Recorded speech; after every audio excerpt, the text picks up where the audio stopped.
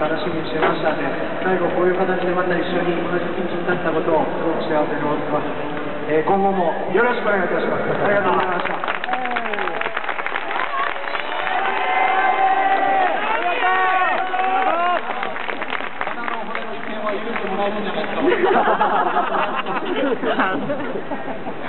ちょっと和志さんがちょっと怖いんですけど。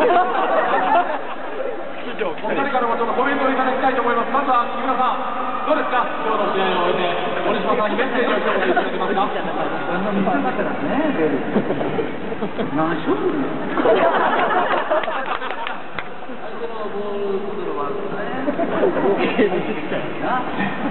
うがない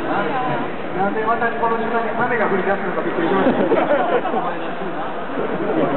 あでも本当にあのね、雨にも関わらず最後まで残っていただいて、綺麗に頑張ったと思い。なんか足る。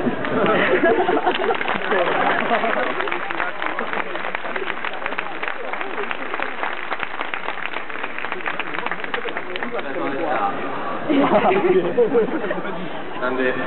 現役なのに俺が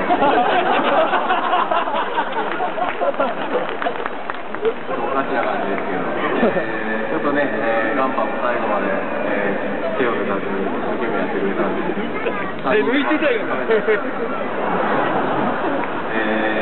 ー、とりあえず、えー、チームの方は、えー、いい状態で、えー、今日見てもらったように、いいサッカーができていると思いますので、えー、これからもどうぞよろしくお願いします。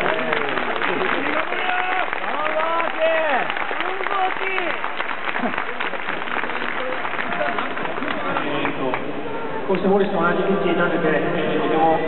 光栄です、えー、僕が在籍した半年間で、えー、点数のピッチにまり、そのままいまだに点数にいるということで、非常にピッチになって心苦しかったんですが、ただ、ずっとピッチに立っていた選手たちは、必ず今年、B1 に上がってくると思います。えー、皆さん、応援してください。そして、